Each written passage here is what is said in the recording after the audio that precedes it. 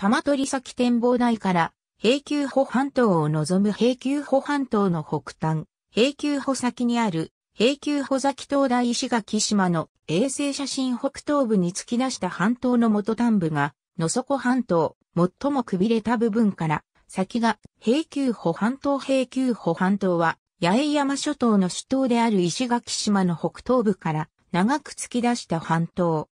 半島の西側の海は東シナ海、東側の海は太平洋である。半島の大半は西表石垣国立公園に指定されている。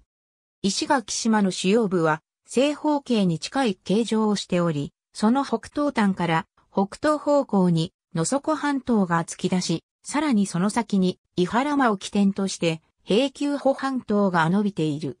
野底半島と平丘保半島を合わせた長さは約 18km である。集落は主に半島の西側に位置し、半島の東側には放牧場が広がる。平丘保半島の最もくびれたあたりは、船クヤーと呼ばれている。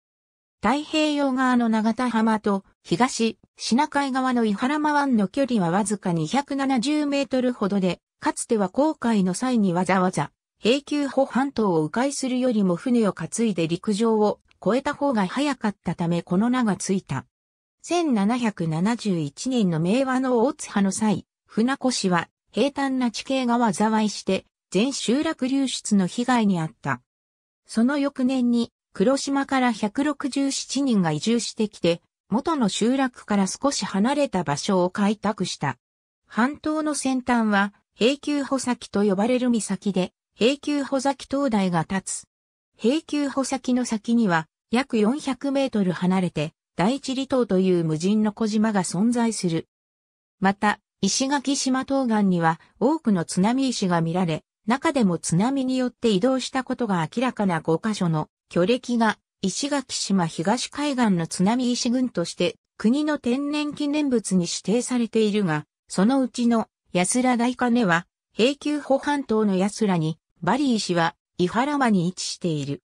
北から、西側北から東側北から、西側北から、東側北から、平丘補集落の北約 1km には3本の八重山シタンが自生している。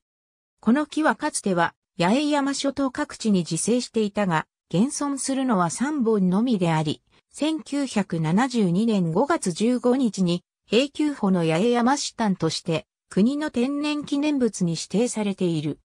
また、平丘保半島東岸の中北部の荒川付近に分布するハスの葉切りは日本最大級の群落を形成しており、2013年10月17日に平丘保安領のハスの葉切り群落として国の天然記念物に指定されている。東運輸が定期路線バスを運行している。同社の停留所は南から以下の通り。ありがとうございます。